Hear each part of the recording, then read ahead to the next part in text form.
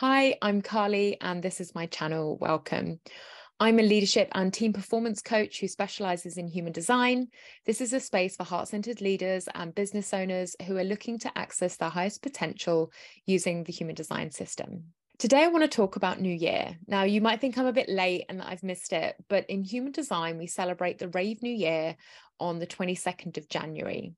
So, if you've been feeling not so motivated about setting your New Year intentions, then that's no surprise to me, and you still have time. In human design, we have 64 gates which are linked to the I Ching, and the sun moves through each of these gates. The Rave New Year starts with the sun in gate 41. The sun is the closest planet to Earth, and that's why we feel the energy of the gate that the sun's in more than any others. Now, if you overlay your chart onto the 22nd, you're going to see how the planets are hooking you up. Now, this sets the stage for energies that you might encounter throughout the year. Now, I thought I'd show you my chart as an example. I'm going to bring it up for you now. So this is my charts, and this is my chart overlaid um, with the transit on the 22nd of January. So you can see where the green sections are in my charts. Um, this is me. This is these are the channels that I always have and the gates that I always have in my charts. Um, and the purple is the transit. So you can see how it's hooking me up. For example, with this one, I normally just have this hanging gate, but this transit is giving me this whole channel. So I'm going to go into each of those so you can see um, the kind of very quick analysis that I was able to give myself to give myself an idea of how um, what I might experience, what how the the stage is being set for me in 2023. So the first channel um, you can see that is um, hooking me up is the 3536, the channel of transitoriness. This is the design of a jack of all trades. So, what this is telling me, so this channel is all about um, trying new things, having adventures, really pushing yourself out of your comfort zone. And I've already got a few projects lined up this year that are doing just that. They're really pushing me out of my comfort zone. They're things that I've not done before, um, things that might ordinarily make me a little nervous or are making me nervous. Um, and what this channel um, tells me um, as it's hooking me up as I as I launch into 2023 on the 22nd is that I'm meant to be experimenting and trying new things and really pushing myself out of my comfort zone and this really is setting the scene for the the year that I'm going to have.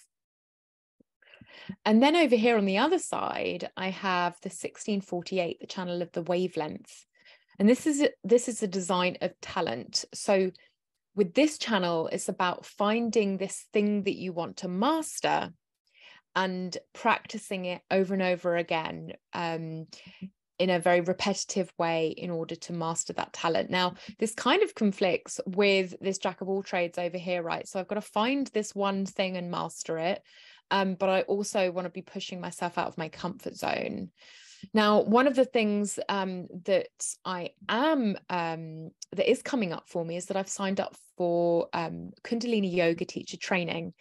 Um, for those of you that know, um, I already practice Kundalini Yoga, but this is really um, going to really push me again out of my comfort zone um, but also is going to give me some structure so that I can really master what I've already been learning over the years. So it feels like I've um, honed in on one area that I would like to really um, master in 2023. And with the yoga and the meditation, it really is going to um, need me to repetitively practice, have this practice daily, um, which is something that I've not ordinarily been very good at. So I'm really hoping this energy is going to help give me that consistency around repetition and practice um, in this one area of my my skill set.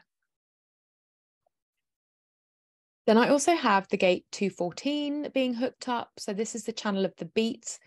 Um, this is really about being a way shower for others, really following my own direction, even if it doesn't necessarily make sense to anyone else um, or might not be conventional, and really, um, you know, drumming to my own beat and inspiring others by doing so.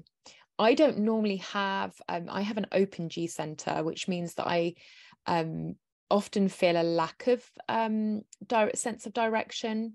Um, so I'm quite excited that to start the year off with this being hooked up and hoping that energy will propel me through the year. The other channel that it's also giving me is this um, channel of judgment. And this judgment is for collective gain. So it's um, judging things that can be corrected for the collective to benefit the collective.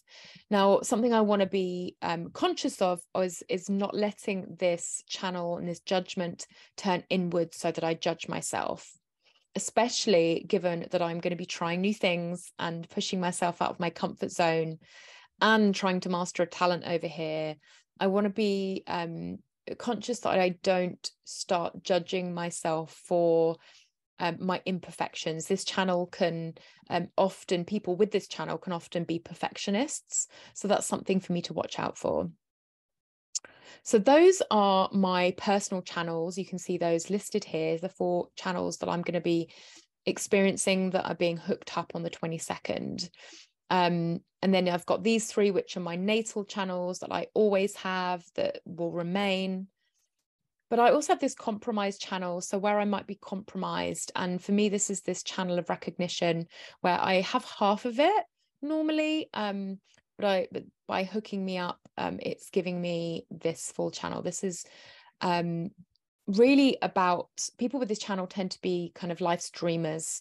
So peace is achieved through enjoying the dream itself rather than necessarily the achievement um, of the desire and there could potentially be a conflict between this uh, this channel and this channel of judgment. So this channel over here, the channel of judgment, wants to um, correct to learn. And this channel over here wants to feel to learn. It's all about moving through emotions, moving from pain to hope. So, watching out for where these two channels might be in conflict to each other um, is something also for me to be aware of.